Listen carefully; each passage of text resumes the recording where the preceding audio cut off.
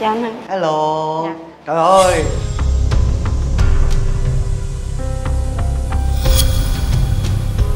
Chào anh em tóc dài rồi hả? Dạ anh khỏe không? Ôi khỏe. Khỏe không cưng? Anh khỏe lắm. Cảm ơn anh nhiều lắm. Nó- bà nói là nhà nhà nhà của bà muốn sạch cái nhà là cái duy nhất để cho ba trú thân để cho ba khỏi sợ mưa gió dột này kia. Thì cái gì làm lớn lên mấy lầu thì anh không làm nổi chứ còn mà có thể sửa lại cho ba khỏi bị sập Dạ. khỏi bị dột này kia thì anh có thể làm được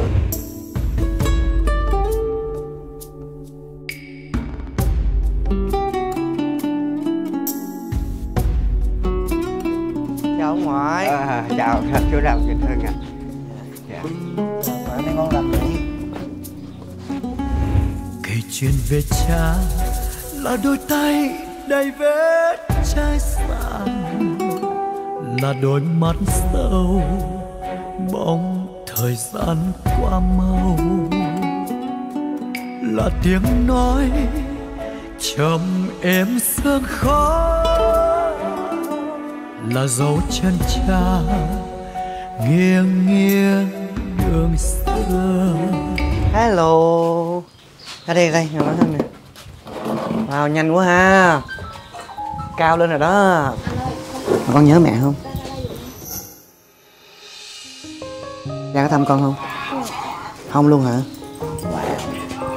Hồi lúc tiên ngọc hưng trên đó đó là 3 tuổi đúng không? Thì 4 năm rồi dễ sợ ha. Mấy năm trời rồi đó.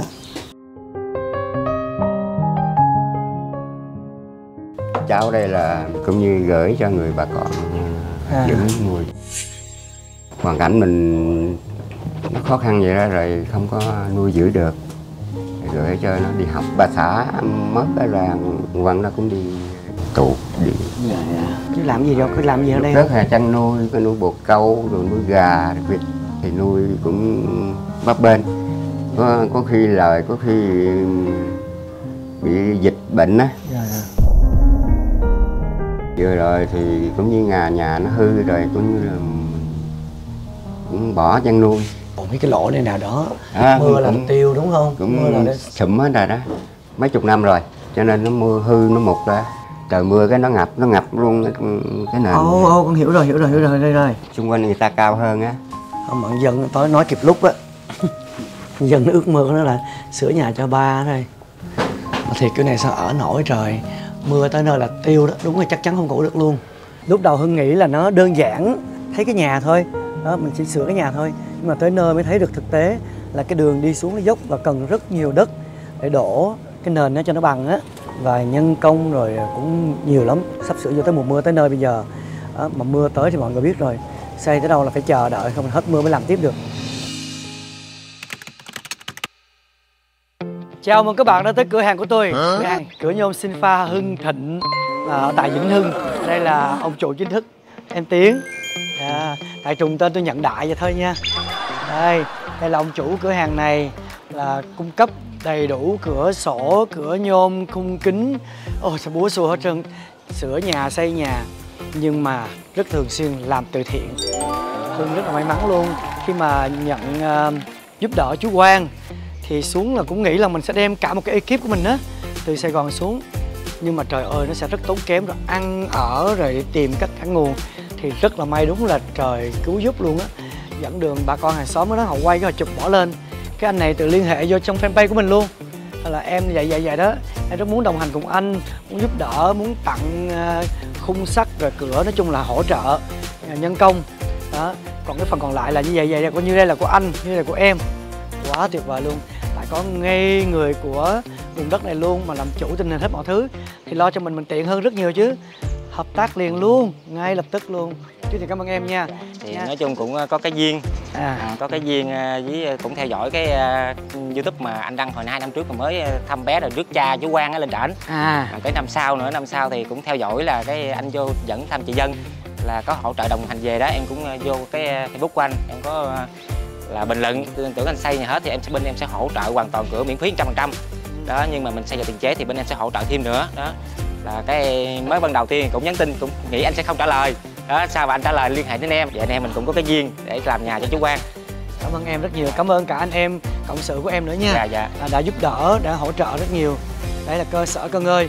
Cho nên là một cái đơn vị rất đáng tin cậy và, và dễ thương đáng yêu.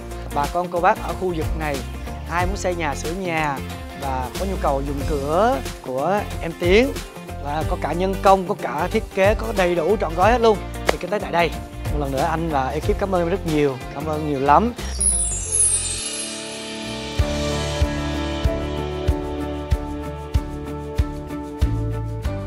dạ. fan của Đàm Vĩnh Hưng. Nhưng mà là coi cái clip đi thăm trên tù đó xong rồi cái dìa tự động đi mò xuống đây phải mượn sổ của ba thì mới được đi vô trong đó đăng ký thăm nuôi. Và 4 năm liên tiếp luôn kể cả dịch rồi à, chăm sóc gửi tiền. Cái này là con đó chứ ta có gì đâu. Con lên cái clip này sao cảm dân có người đi thăm dạ chắc vậy À, à, thì đó là vậy cái đó. cách à, lan tỏa Ừ. cảm ơn cô thật là nhiều chứ cảm ơn con à mới có bệnh nhà thương nằm nhà thương nữa chết năm ngoái rồi nè mà sống lại nè nhà thương kêu đem về làm đám ma chứ con tưởng Trời ơi, may mắn quá, lạy Chúa, cảm ơn trời Phật. Đó chắc là ơn phước cô đã làm đó, cuối cùng là cô đã qua căn bệnh luôn. Yeah.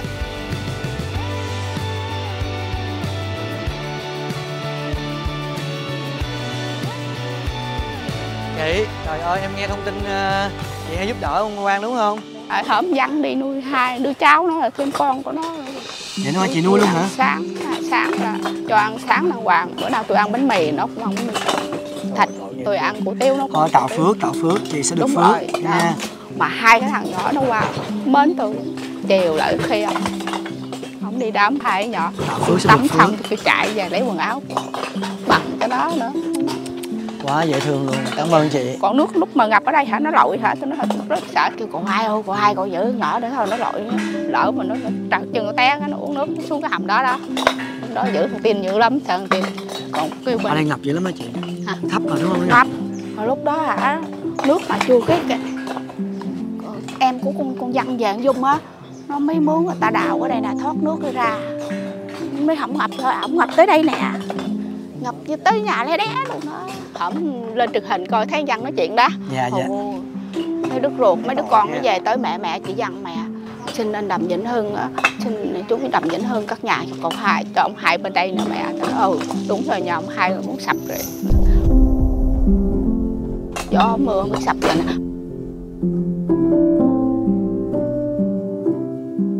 thương chị nhiều lắm, chị quá dễ thương luôn, tuyệt vời. Người hàng xóm đáng yêu. Bán anh em xa mua láng gì gần là đây nha mọi người nha.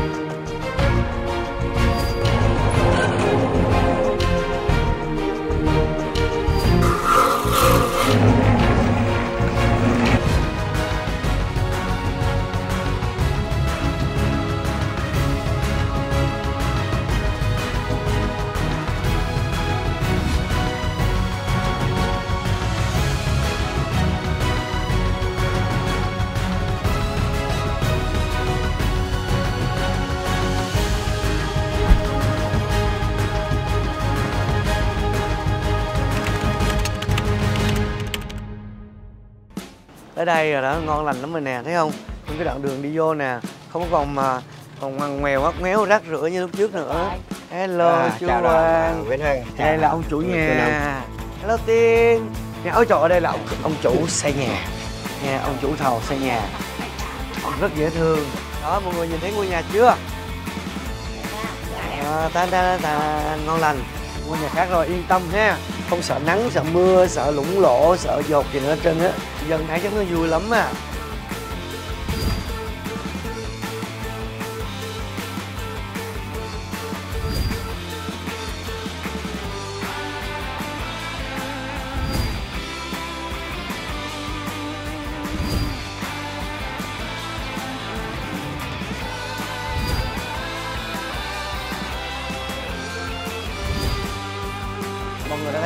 Cái nhà cũ ra sao?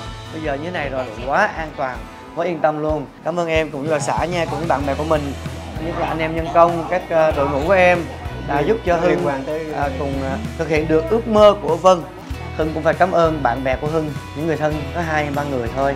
Đó, thấy hưng làm vậy đó nói thôi cho em hùng giới cho em chung vai gánh vác giới và hưng đã phải cảm ơn khán giả của hưng.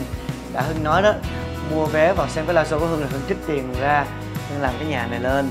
Đó, cuối cùng là là đã có được cái ngôi nhà ấm áp yên ấm có điện đèn có à, chỗ trú mưa trú nắng một cách rất là an toàn luôn. Cảm ơn mọi người cũng đã chia sẻ ủng hộ như một cái sự động viên giúp hưng để hưng có thể làm tiếp được à, cái con đường mình đã chọn.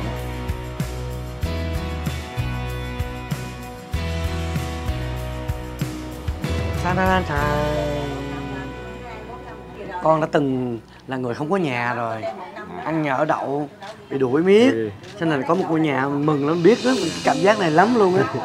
Bây giờ đầu tiên cũng như mình rất cảm ơn mọi người là, là các trong đó là nước hạn là đàm vĩnh hưng anh tiến cũng như à, công ty hưng thịnh và tất cả cô bác gần xa đã trong thời gian đã qua đã hỗ trợ và cho mình à, bây giờ là có căn nhà đẹp hôm nay có những người thân yêu nè em không? Muốn gửi tình cảm đến chú nè. Gửi tặng chú kìa, trời ơi, sướng chưa? Có nhà mới, có lọc vô liền luôn nha.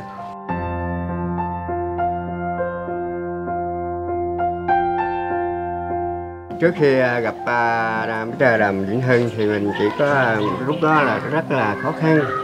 Cũng như mình, nhà cửa thì nó hư ha, hụt nhưng mà chỉ có mong muốn là chỉ cất lại cái nhà tạm đơn sơ để ở che mưa thôi nhưng mà cũng rất là may gặp à, được à, đàm vĩnh hưng à, tài trợ cho mình ngôi nhà.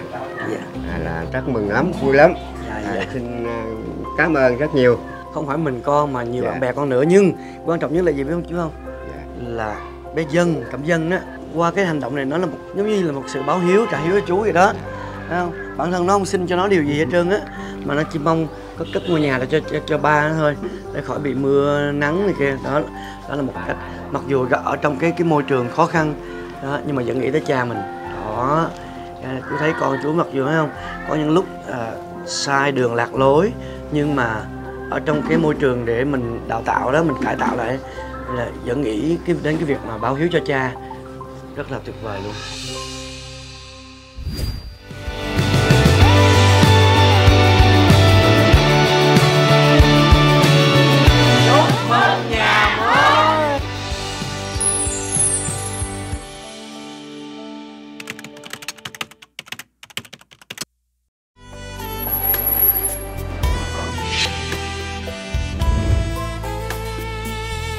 Vòng tay ấm cha nhiều mẹ ôm con. Đứng đằng sau giang rộng vòng tay. Che chở lấy sợ đời con vấp ngã. Lắm buồn lấy để con trẻ bước qua. Cảm ơn hai nhiều lắm rồi dạ. Ôi trời ơi. Dạ. cái này để lại cho con. Coi Ôi sướng vậy hả? Trời ơi. Cái này tin không có cho. Cái này không có cho rồi đem về. Không muốn đem về hả? Dạ rồi lấy giấy khen lại. À giấy khen hả? Wow giấy khen này mọi người. Học sinh tiêu biểu hoàn thành tốt trong học tập và rèn luyện. Wow. Chữ nó đẹp á Thiệt sự anh làm cha làm mẹ anh biết. Nhìn thấy con mình có cái tờ giấy khen là mừng lắm luôn Dạ. á đúng không? Dạ. Lòng mình vui dữ lắm luôn á trời. Con anh cũng mới hôm qua cũng mới ờ, bế giảng Ở tại trường cũng nhảy Cũng hát hò trên trường. Nên là trời mình mình hiểu cái hoàn cảnh cái tâm trạng này lắm luôn á. Mà đã còn nhận bằng khen nữa. Là tin làm cái này là tốt đó nha. Tin phải nhận được nhiều bằng khen hơn nữa cho mẹ vui cho mẹ yên tâm ha con ha. Con gắng học giỏi nha viết chữ đẹp hơn nữa. Học phải hơn mọi người luôn nha để mọi người nể mình ha con ha. Về chúng mình còn mốt con làm học giỏi đó có chỗ làm ta trả lương mình cao. Để còn nuôi ông ngoại nuôi mẹ ha. Có biết tại sao cái này làm đột xuất không? Dạ em biết là cái nhà thông rồi Em cảm ơn anh hai nhiều lắm. Tết thì em ngủ không được. Mấy năm rồi em không được thấy ở nhà. Ai cũng chọn gì cho em hết? Làm em cảm ơn anh với cảm ơn mọi người đã giúp đỡ. Giúp đỡ em cũng như là xây nhà cho ba em cảm ơn các mạnh thường quân. Em cũng cảm ơn cán bộ đã tạo điều kiện cho em quan tâm em luôn luôn quan tâm em. Em cảm ơn anh nhiều lắm. Hàng xóm cũng vậy thương lắm. Dạ. mỗi người tới phụ chút chút chút. Có người cho phong bì đó cho lộc ấy thương lắm. Giờ ba tự nấu ăn được tất cả mọi thứ tiện lợi lắm bếp ga hết rồi có toilet riêng sạch sẽ cho ba đàng hoàng. Em cảm ơn anh. Không sao không sao. Xong rồi anh cũng mãn nguyện anh cũng làm được cái điều niềm của em rồi. Dạ. đó hồi xưa cũng có một người bạn khác cùng giai đoạn với em luôn đó Dạ. bạn Tuấn thì anh cũng sửa nhà cho bạn ấy. Là bạn ấy bây giờ về rồi bạn ấy ờ, Dạ. đi làm bảo vệ rồi. Bảo vệ để nuôi mẹ em cũng hứa với anh với mấy cô mấy chú đã giúp đỡ nhà em em cũng sẽ cố gắng để tập tốt. Ừ. để rút ngắn thời gian về sớm hơn. Ừ. về với con Dạ. em về chắc lúc con lên lớp cấp 1 rồi cấp 2 rồi đó. Ha Dạ. cái cỡ đó. Hy vọng là vậy. Anh về nó tốt nghiệp luôn rồi. Tốt nghiệp luôn. Tốt nghiệp lớp 12 luôn hả? Đúng không con? Nghe không? Mới lớp 3 rồi đó. Là tới lớp 12 anh cho em gửi lời cảm ơn mấy mấy mạnh thường quân đã giúp đỡ cho nhà em cảm ơn nhiều ok chắc là mọi người xem sẽ thấy được cái lời cảm ơn của em. Dạ. đặc biệt là hưng cũng cảm ơn cán bộ tạo điều kiện thuận lợi nhất đó, để cho hưng được à, thăm để ông yên tâm và em yên tâm ở trong này để học tập cải tạo cho tốt nha. Dạ. em sẽ không phụ lòng cán bộ không phụ lòng mạnh ai với lại mấy mạnh thường quân đã giúp đỡ em đâu. Ok ok. Rồi vậy là ngon rồi đó. Dạ. Yên tâm ha. Sớm về đi cổ vũ cái tôi hát nữa nè. Dạ. Anh cũng có chút quà ha gửi tặng em nha Dạ. à, cá của anh sản xuất thôi cá hộp đó. Nha. Nha. Chút bánh trái của ông ngoại đem lên nè. Nó hồi nhờ cán bộ quản nè. kiểm Dạ. soát xong rồi rồi mình nhận ha. Dạ. nha. Đây cá hộp này ăn để dành cả tháng hai tháng trời. Ừ. nha. Thôi, chúc mừng nha. Rồi, mừng quá đi thôi. Có cái nhà là vui rồi ha. Dạ. Rồi. Em hạnh phúc lắm. Ừ.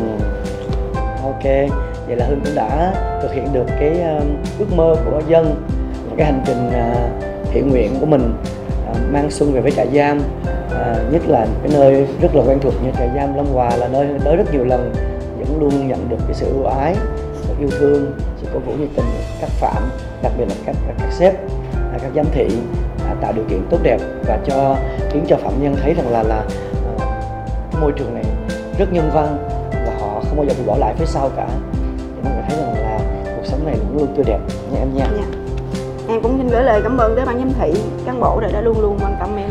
Rồi rồi ok thôi giờ em về nghỉ đi ha. Dạ. hai cha con nói chuyện với nhau đi mấy mẹ nguyệt nữa. Chút xíu nữa có xe đưa cha về. Dạ. nha